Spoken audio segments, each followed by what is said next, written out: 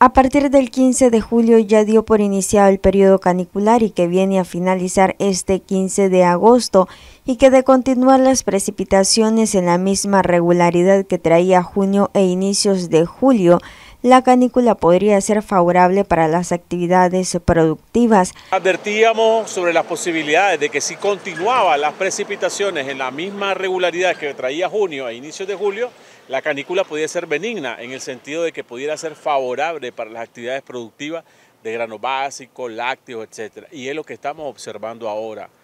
Lluvias el fin de semana, prácticamente en todo el territorio nacional, lluvias con regularidad, eh, y con buena cantidad, que es lo más importante. Y hoy lunes todavía prevalece el nublado.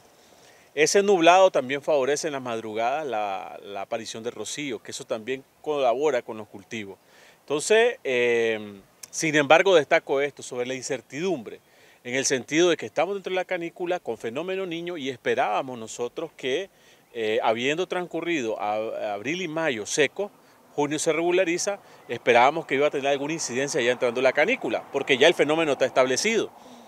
Pero vemos entonces un cambio un poco en, las condiciones de, ambientales que tenemos ahora. Siempre es una bendición que llueva. No vamos a renegar ahora diciendo de que como está lloviendo hay problemas. No, el problema está alrededor de poder tener la información, poder tener el conocimiento y poder tener, digamos, aquella información significativa para que el productor, para que el ciudadano, la ciudadana, se pueda orientar adecuadamente sobre estas cuestiones. Y destacamos entonces siempre, eh, dentro de estos fenómenos, la complejidad de poderlos pronosticar y poder emitir alertas que sirvan para que la gente tome sus decisiones más adecuadas. García dijo que ante el fenómeno del niño y el periodo canicular genera de una u otra manera incertidumbre.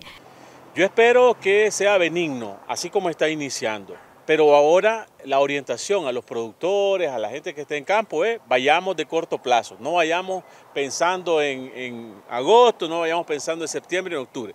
Pensemos en lo que tenemos ahora sembrado y pensemos cómo están esas condiciones ahora. Eh, ambientales para que esos cultivos o esas actividades productivas puedan ser exitosas. Hoy por hoy, la regularidad de lluvia es positiva para las actividades productivas. Noticias 12 Darlene Telles.